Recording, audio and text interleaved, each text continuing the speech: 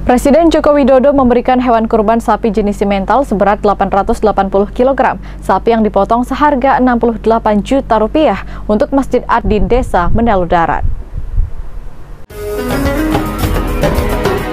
Sapi pesanan Presiden Republik Indonesia Joko Widodo dibagikan untuk masyarakat Provinsi Jambi. Sapi ini berjenis simental dipotong Masjid Ad-Din Desa Mendalo Darat. Sapi tersebut memiliki berat hidup mencapai 840 kg seharga 68 juta rupiah. Sapi ini merupakan sapi dari peternakan sapi Indra Suwardi yang selalu dipercaya oleh Presiden Joko Widodo untuk mendistribusikan sapi simental.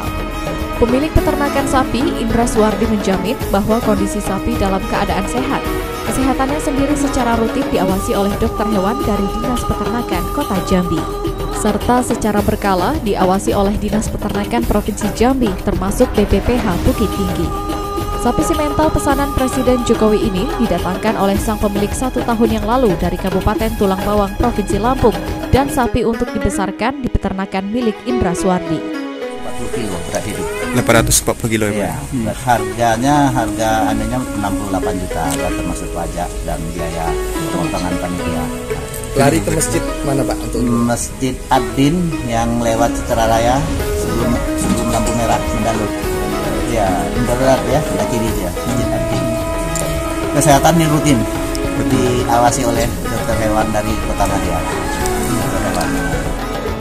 Di tahun 2019 lalu, pihak peternakan mengaku bisa menjual sapi jenis yang sama sebanyak 12 ekor atas pesanan perusahaan dan masyarakat. Namun tahun ini penjualan jenis sapi yang harganya mencapai 68 juta rupiah nihil pesanan.